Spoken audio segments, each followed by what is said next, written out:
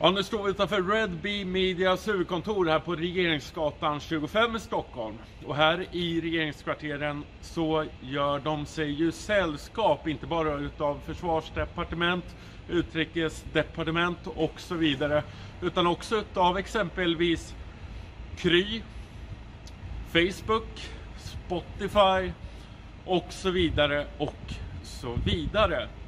Eh, Amazon Web Services, AWS, alltså molnbaserade tjänsterna som Amazon förser världen med tillsammans med Ericsson finns ju bakom den här byggnaden i den nybyggda Sergelhusen. Och eh, Red Bee Media, det är någonting jag tog upp i den senaste filmen då vi stod på distributionsplatsen vid TV4-huset borta vid eh, Tegeluddsvägen. Red Bee Media distribuerar alltså kanalutbudet eller sändningarna för en rad olika tv-kanaler. Bland annat då eh, vad heter det, TV4 då som sagt. Men också BBC. Och det här är alltså en eh, distributions, ett distributionsföretag som ägs av Ericsson. I förlängningen alltså av Investor Wallenberg. Och eh, det här är ju någonting som nu har kommit upp internationellt. Det vill säga, tar man Kina till exempel så ligger ju kinesiska staten Huawei också i konflikt med Wallenbergsfären. Både ABB och Ericsson för att ha så stort inflytande på deras elförsörjning men också på deras telekominfrastruktur. Alltså två sådana här enorma maktfaktorer i den digitaliserade tiden som vi befinner oss i. Alltså kontrollen över informationsflöden men också kontrollen över elförsörjning för ja, den här digitaliserade valutan och så vidare och så vidare.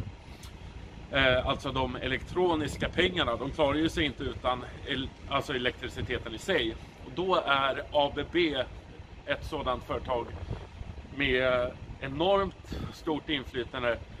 En eh, helt enkelt enormt stor maktfaktor globalt sett.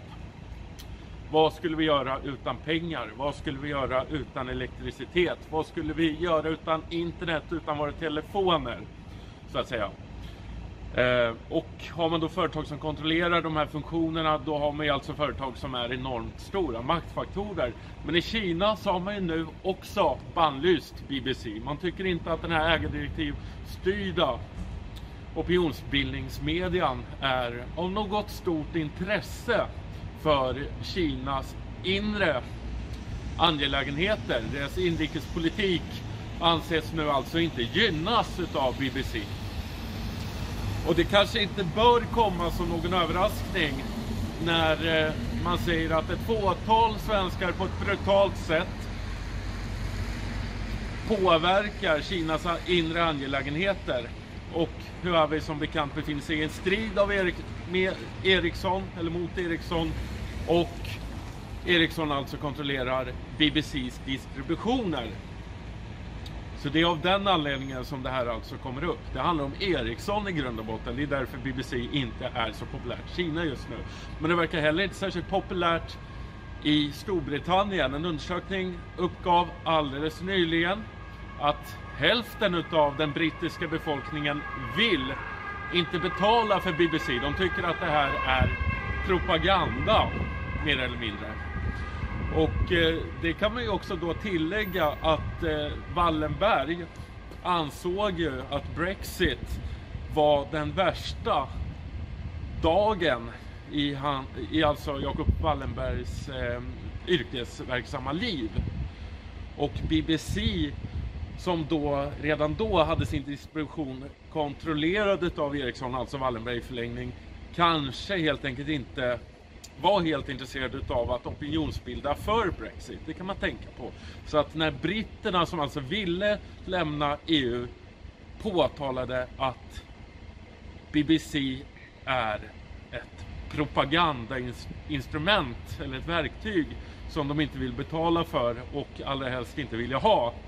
Så ska man alltså ha ägarintresset i åtanke när det kommer till hur kommer det sig att det är så många negativa nyheter om BBC just i detta nu? Just i det här skedet. Och eh, det är precis som du säger, det händer ju någonting. Det händer ju någonting inom EU. Tittar man till läkemedlen till exempel så AstraZeneca är ju inte ett förstahandsalternativ när det kommer till vaccinationen utav EU-medborgare.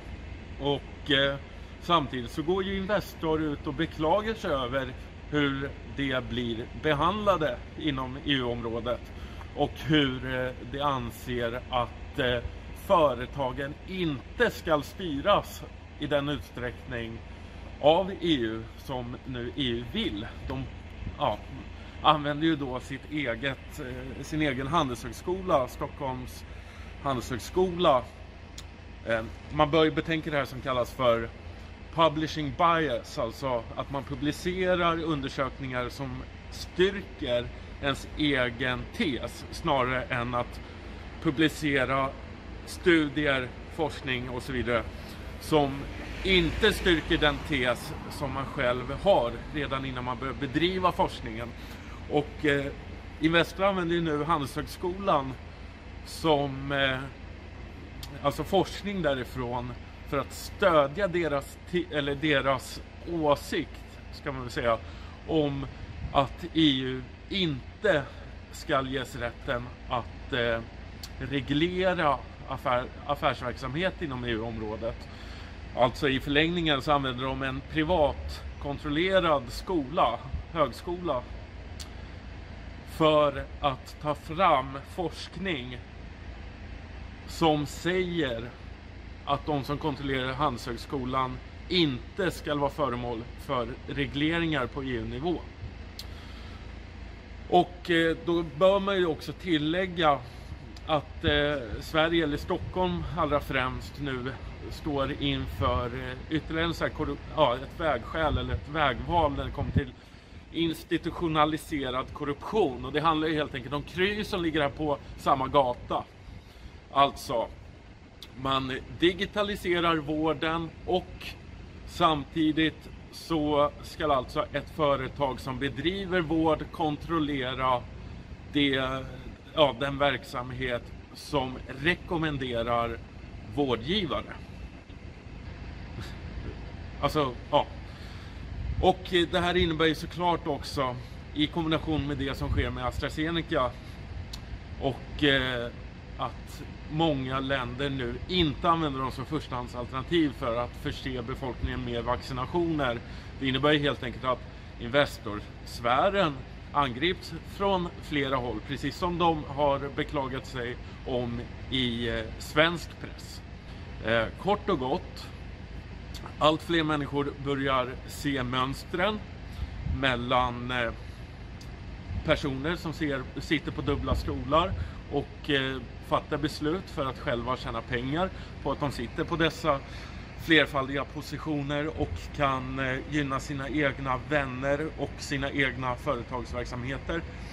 Och sedan så har ju processen av att kunna se de här mönstren kommit mångt mycket längre runt om i omvärlden där man eh, angriper det här på bred skala. Det är inte av det allmännas intresse att ge bort all makt till ett fåtal intressenter, ett fåtal profitörer som varken drar sig från att tjäna pengar på krig eller någon annan typ av verksamhet. Tack så mycket för att ni följde med. Prenumerera på kanalen, dela filmen vidare och så ses vi snart igen.